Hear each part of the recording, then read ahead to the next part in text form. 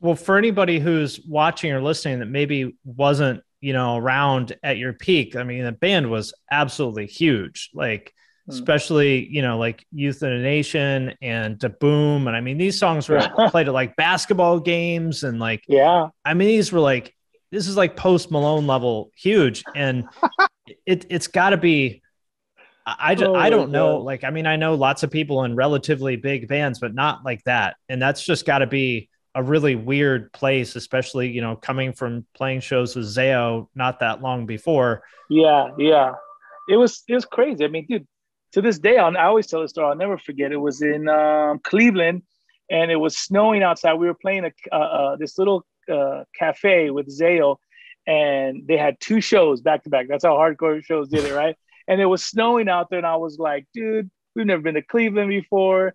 This is crazy. Um, there's no way kids are going to come out. It's it's you know two degrees outside, and sure enough, dude, we played that show was packed. Looked outside, there was people outside waiting to get in the second show, and those are those days where you remember like, dude, this scene was so dope. This is how it was supposed to yeah. be. Especially, you know, I get it. People could look at me and say, dude, but you played on big stage and done that. It's like, yeah, but you don't understand the the spirit and that heart is lost.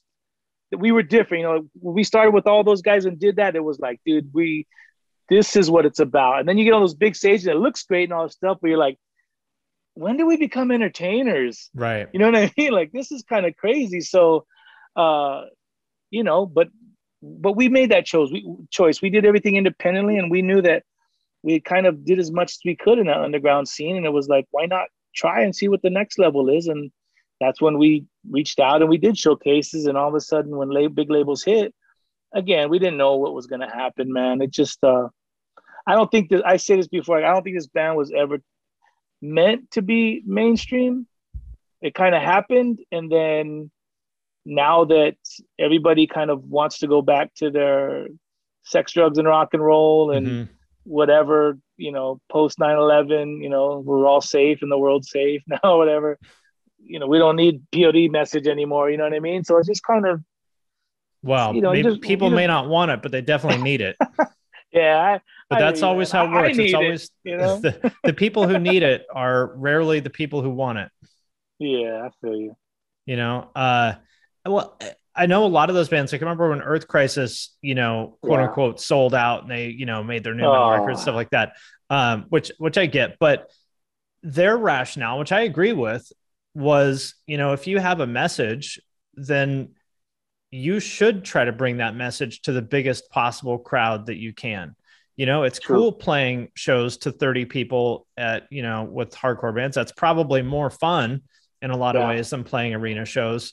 But if you have something to say, which I believe you guys always have had something important to say, you almost have a responsibility to bring that message to the most people you can. At least that's how I would feel about it. No, I, true, man. I think, yeah, I totally agree. It was, we were just kind of going wherever it took us. You know what I mean? We were used to those small shows, and then when things started happening, it was like, okay, cool. This is just how it kind of maybe the natural process. Um, but we always felt that it was because of that. It was like we were we just felt like, you know, not that we're anybody, but we did feel like we had something to say because it was working in our lives and it was real in our lives. And so, like you would share with a friend, why not share it? You know, and as things went on, it just um, you know, there was a when satellite came out, it was just a good, it was maybe just a good, a nice climate, you know, the right, the right climate, I should say, for people to ask questions and wonder, hey, what's your band about? I like this positive message, I like this, and so it kind of put us in a, on a pedestal in certain ways, and it gave us awesome, killer opportunities. And I think once POD kind of broke those boundaries of like, oh, that's a Christian band, and who cares? What what does that mean? Then it opened up the doors for a lot of these other bands to come through because before they weren't, they couldn't say if they said they were Christians, it was like, ah, you guys suck. Yeah. But then it was like, oh, you guys are Christians, like POD. Oh, cool. Let me let me check it out. Let me listen. You know what I mean? Right. So n- not a pat on my. No, I'm not patting me on the back. I'm just saying. No, that's what happened. We, we fought and we worked hard and we broke down a lot of those stereotypes and those barriers um, that was like, you know, because even bands would be like, "Oh, did I hate Christian music?" But POD kicks ass. Well, I mean, a lot of people, a lot of people in Christian bands don't like Christian music. That's you know that's yeah, common.